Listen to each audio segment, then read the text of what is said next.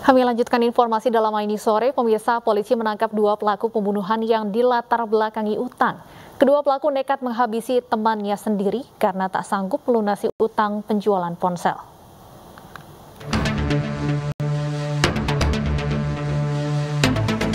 Polres Nagan Raya Aceh membekuk dua pelaku pembunuhan Khairul Ambia, warga desa Samatiga Kabupaten Aceh Barat Aceh yang tergeletak bersimbah darah di pinggir jalan. Kedua pelaku RM dan RC nekat menghabisi nyawa temannya sendiri karena terdesak membayar utang penjualan telepon genggam senilai 1 juta rupiah.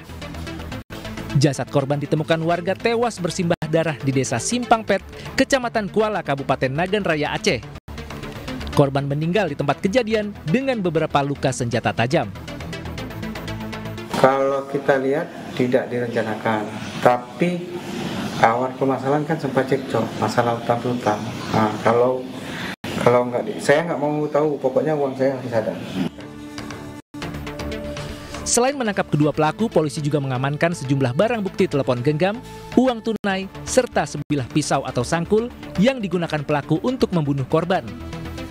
Tersangka dijerat pasal 338 KUHP tentang pembunuhan dengan ancaman hukuman 15 tahun penjara. Dari Kabupaten Nagan Raya Aceh, Afsan iNews melaporkan. Cemburu dan menuduh cintanya dihianati, seorang pemuda di Palembang, Sumatera Selatan tega menganiaya kekasihnya dengan brutal. Pelaku juga merusak ponsel korban yang berisi percakapan mesra dengan pria lain.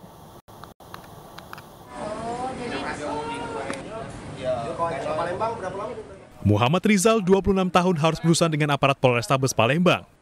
Ia dilaporkan telah menganiaya kekasihnya Owe yang bekerja sebagai pemandu lagu. Korban mengaku dianiaya hingga memar di wajah. Ponselnya juga dirusak pelaku yang menuduh dirinya menjalin cinta dengan pria lain. Itu siapa mbak? Itu siapanya?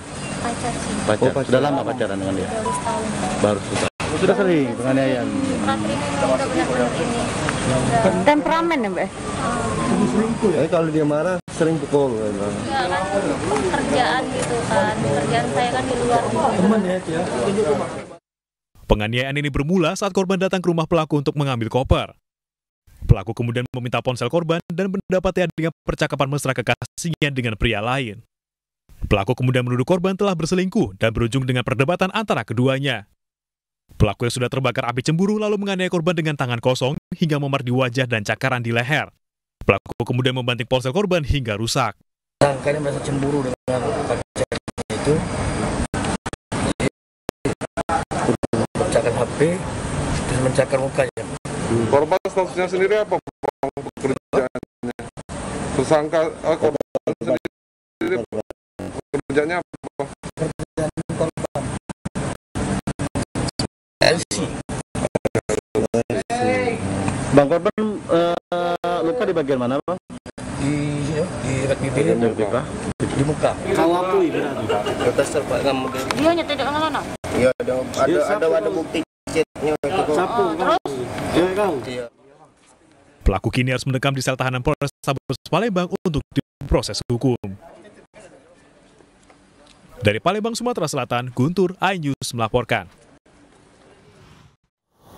Kita ke informasi lain, pemirsa warga digegerkan dengan penemuan mayat perempuan paruh baya di tepi pantai Sebuasi, Kabupaten Nias Selatan. Perempuan tanpa identitas ini diduga merupakan korban pembunuhan. Penemuan mayat perempuan paruh baya tanpa identitas menggegerkan warga Kabupaten Nias Selatan, Sumatera Utara. Mayat pertama kali ditemukan oleh warga yang beraktivitas di bibir pantai Sebuasi, Kecamatan Pulau Telo. Wanita Malang ini diduga merupakan korban pembunuhan karena ditemukan luka memar di tubuhnya. Polisi masih menyelidiki identitas korban, sementara jenazahnya telah dibawa ke Puskesmas Telo untuk pemeriksaan medis.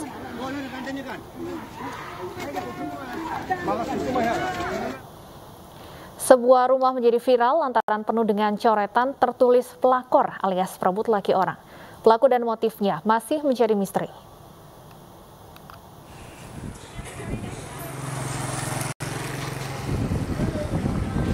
Rumah yang terletak di pinggir jalan Jepang Kecamatan Alang-Alang Lebar Palembang, Sumatera Selatan ini mencuri perhatian.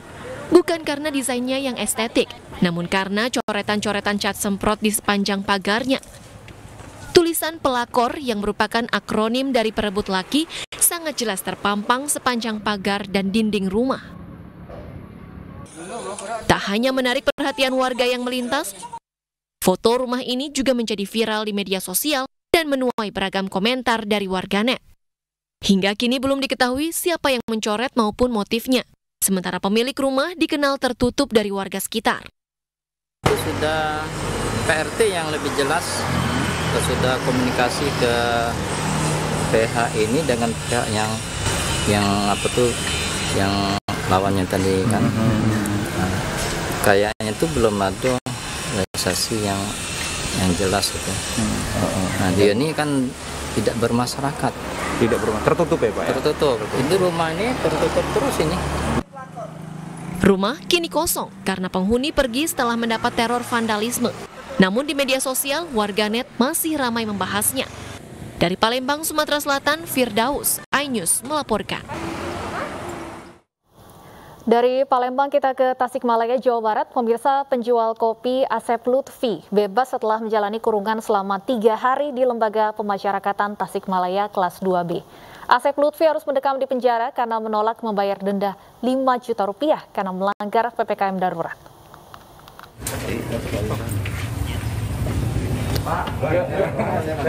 Asep Lutfi Suparman, penjual sekaligus pemilik kedai kopi, akhirnya bebas dari Lembaga Pemasyarakatan Tasikmalaya kelas 2B siang tadi setelah menjalani hukuman penjara selama tiga hari.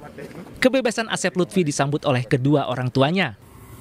Menurut Asep, perlakuan selama ia di penjara cukup baik. Meski awalnya sempat dimasukkan ke dalam satu sel tahanan bersama tahanan kriminal, namun kemudian ia dipindahkan ke sel tahanan khusus untuk isolasi. Di dalam tuh perlakuannya baik. Uh, bagi saya tiga hari kurungan. Emang ya yang namanya kurungan nggak betah, hmm. tapi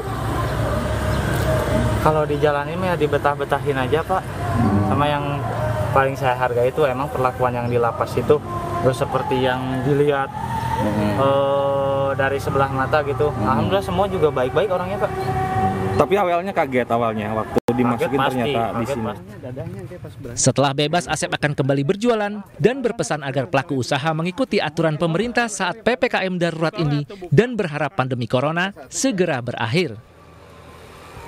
Asep Lutfi harus mendekam di lapas Tasikmalaya setelah majelis hakim menjatuhkan vonis bersalah dan harus membayar denda 5 juta rupiah subsidiar tiga hari kurungan sesuai dengan Perda Provinsi Jawa Barat tentang ketentraman, ketertiban umum, dan perlindungan masyarakat.